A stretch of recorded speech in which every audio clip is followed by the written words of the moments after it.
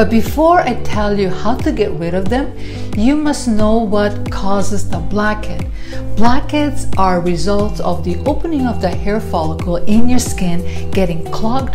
The produced oil is called sebum and it plays a major role in keeping your skin soft, hydrated, and supple. We all shed dead skin cells when these dead skin cells and oils are gathered together at the opening of the follicle, it produces a little bump called a comedone or blackhead. The exposure to the air causes to oxidize and turn the sebum, the oil, black. Now that you have an understanding what a blackhead is, and I will list several natural remedies to take care of them. Before you head to an esthetician or dermatologist, you can try some of these uh, home remedies. If you still see no change or no help, it would be better, best to get some professional advice. So very quickly, if this is your first time on my channel, my name is Maria and welcome to Aglaia Esthetics Online. I am an aesthetics instructor, a master esthetician, and examiner for many years. I've seen a lot of things that come and go and things that work and things that do not work. I have an online aesthetics training for individuals that want to become certified estheticians. Give me comments below. Love to connect with you. So let's get started. What can we do at home to reduce and regulate the production of sebum and of course the comedones. Number one, wash with a gentle cleanser once a day. If your skin is really oily, maybe twice a day. Resist the temptation to use scrubs or very harsh scrubs on your blackheads. It will overly strip your skin of moisture, which actually can trigger the overproduction of sebum and further exacerbate the uh, problem. Use cleansers that contain glycolic acid, which clears out, out the pore.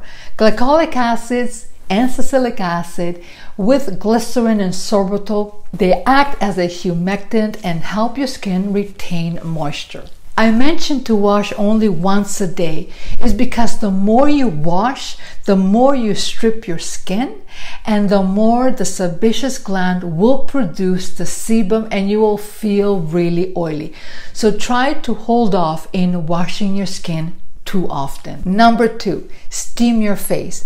Before you attempt to extract your blackhead at home, it is crucial to loosen and to soften the debris trapped in the pores with some heat before you go and try to remove that blackhead. A face steamer that you can buy, not too expensive. It is a great way of doing this.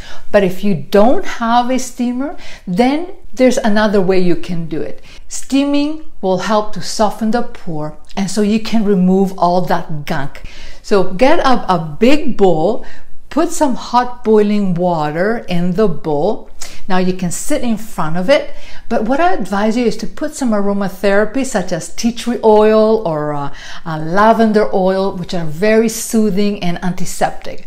Then get a big towel and put your face in front of this bowl and cover your face so you will, so the steam does not es- escape. And do this for at least 10 minutes. I personally prefer using my fingers and to apply a little gentle pressure to extract the impurities. If you're extracting your impurities with your fingers, you need to be very, very gentle. Start with very clean hands, disinfect your hands, and remember how to place your fingers. And do not go too close. Because if you go too close, you're actually pushing the blackhead in. Never, I mean, never remove the blackhead like this with your, your fingers. You want to cover your fingers with a Kleenex and I'm going to show you here. So you got to get a little Kleenex and you cover your fingertip. Okay, like this. Very good. And uh, while you are squeezing, you need to somewhat relocate your fingers that you're not in one on one spot and squeeze and squeeze and squeeze, because otherwise you're going to cause problems. So the first position that I like to do is uh, a three o'clock and nine o'clock. Okay, and then you do a little bit of a wiggle. Now, if it doesn't come out, then try five o'clock and ten o'clock with the same blanket and do a little bit of a wiggle. And if it doesn't still come out, try 2 o'clock and 7 o'clock and do the same thing. My general rule is three strikes and you're out. If it doesn't come out after three tries, don't do it any longer, or you will risk damaging your skin or potentially breaking some capillaries. If it's not coming out, that means it's not time to remove it, or you did not steam your skin long enough. You just have to come back another day. Once you're done, you need to disinfect the area. You can use some tea tree oil with a Q-tip on the area or using a high frequency device and I have a tutorial and the link is below to complete the procedure. Then use a soothing balancing mask or an ice cube if you don't have a mask on your face to prevent inflammation and to tighten the pores. After that is done, a light moisturizer on your skin. Number three, for me, no, is a comedone extractor. An extractor tool is usually used by estheticians, an esthetician that has a lot of experience or dermatologist. However, if it's used incorrectly, it could cause damage to the dermis, damage to your fibers like the collagen and elastin, and also could cause breaking capillaries and bruising. However, if you want to use it, must be done very carefully you need to apply slow and even pressure. The loop face down onto the pore that needs to be clearing. Make a gentle sweep motion to remove the plug from the pore. Do not overdo it. Again, number four, exfoliate regularly. For exfoliation, opt for acids. I much prefer chemical exfoliants to physical ones, which means turning to a chemical peel such as alpha hydroxy acid versus a scrub. Scrub can cause micro tears in your skin. Keep a lookout for ingredients AHAs such as glycolic acid, BHAs such as salicylic acid work well to exfoliate the skin. However, BHA penetrates deeper into the skin and have both antibacterial and anti-inflammatory properties, so they are good for treating blemishes in acne prone skin. And the AHAs is better for drier skin, dry and mature skin. Exfoliants can help rid of the skin of the blackhead, causing sebum product buildup. But because they can also strip the skin of moisture, do not use them too often. Use them maybe once a week max. Number five, make sure to moisturize. Even though oil is a contributor to blackheads, avoiding it altogether will only backfire. In fact, keeping your skin's oil level balanced versus no existent is the key to minimize blackheads. So basically, if you're not having any oils and you keep on washing your skin, you're stripping your your layer of oil, the sebaceous gland will produce more oils more oils, more blackheads. So you need to keep things very balanced. Make sure you maintain a normal flow of oil from your pores by keeping your skin moisture level balanced. Try a moisturizer with squalene oil may be involved in a function of the skin barrier or a moisturizer with the NRF2 activator, which serve as an emollient but is a non-comedogenic, is the best of both worlds. The skin barrier is the top layer of the skin that helps to prevent water loss and act as a barrier to allergens and uh, bacteria. I have an amazing tutorial on that subject. I will put it in the description box. Number six, apply a topical retinol or retinoid in the area very thin layer applied at bedtime only on the blackhead area where you have blackheads can help to exfoliate your skin, unclog the pores, reduce oiliness, and remove and prevent small blackheads and also those milia. Do not overuse it. It can cause damage to your skin barrier. So be very careful. Number seven, try some gadgets. If your fingers aren't enough to safely extract the uh, blackhead, there are a few tools that would make it easier, uh, such as the skin spatula that it vibrates to excavate the buildup in your pore. There is another one which is a pore vacuum or black vacuum. I would not use it which literally sucks the debris out out of your skin. But it's worth doing some research before using one since sometimes they can be too strong and uh, can cause harm such as bruising. I recommend staying away from it unless you are using the suction really low in the gentle mode. Prepare your skin good before you use it, like steaming your skin, because you don't want to cause any trauma on your skin. Number eight, use vitamin C, which actually be incredibly powerful for clearing blackheads.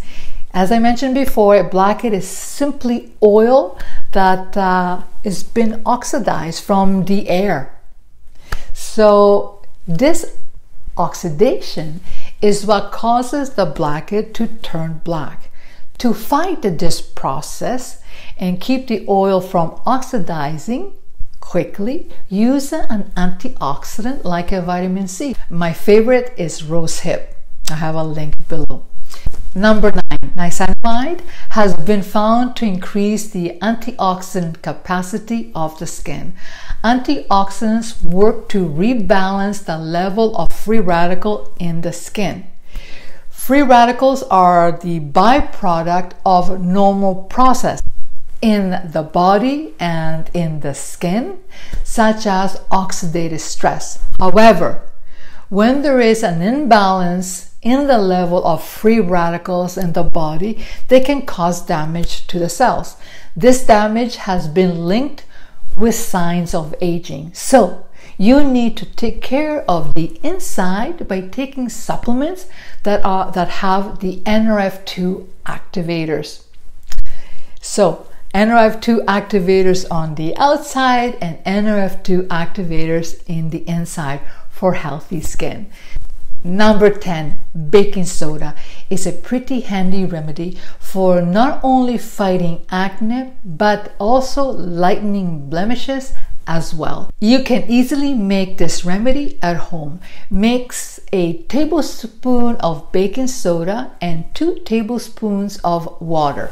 Apply the paste over the blackheads and over the acne if you have any. Leave it on for about 15 to 20 minutes. Now, before you wash it off, wet your hands and massage the area that you have blackheads. Do not massage it on the on the blemish because if you do, it will irritate the blemish. Baking soda acts as a natural exfoliator. It is also an antibacterial which reduces the possibilities of irritation and infection.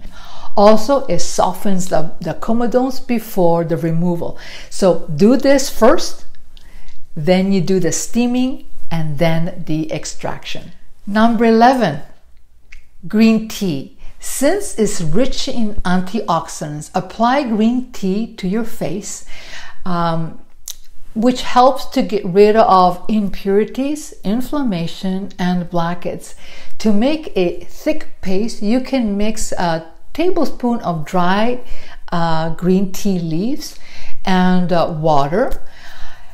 Make it like a little paste. Apply onto the acne area or on the blackheads. Leave it on for about 15 to 20 minutes and then rinse it off with warm water. Number 12, egg whites. So take uh, an egg white and mix it one tablespoon of organic honey Mix it and make it like a nice little concoction. Apply onto your face and allow it to dry. A face towel, apply onto the, your skin with warm water. Uh, remove it gently, especially if you have blemishes. You will notice your face glowing and blackhead free. Number 13, tomatoes. You need only one ingredient a ripe tomato. Make a pulp out of the tomato and apply onto the acne affected area, your blackheads, and leave it on for 30 minutes. And if you have time, even 60 minutes. And then rinse it with warm water. Tomatoes dry up blackheads owing to their antibacterial properties. They also act as an exfoliator. The acidic properties of tomatoes help to unclog the pores. It is an amazing mask. Try it out. Number 14, cinnamon powder is a powerful remedy that not only removes blackheads but prevents them as well. So mix a tablespoon of uh, cinnamon, a little bit of uh, lemon juice. You could even add a pinch of turmeric. So you're making like, like a nice little paste. Apply it onto your face in the problem area. Leave it on for about 10 to 15 minutes and wash it off with warm water. Now remember, it will stain, so try not to use white towels.